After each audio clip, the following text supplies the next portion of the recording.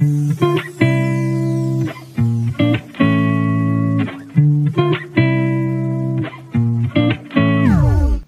hello guys, uh, this is a Johnny microbiologist, a medical research scientist based in Nairobi, Kenya.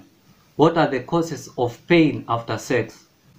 Number one, we have friction related injuries. Extended intercourse or rough sex can lead to pain after sex in that there can be chafing, tearing of the penile skin as well as the foreskin. Sexually transmitted infections such as chlamydia and gonorrhea. This can lead to swelling which results in pain after sex. Prostatitis is a condition that is caused by swelling of the prostate gland and this kind of swelling can lead to pain after sex. Peyronie's disease is a scar tissue in the penis this can lead to the bending of the penis and therefore one can feel pain after sex. Some men might be allergic to condoms as well as lubricant.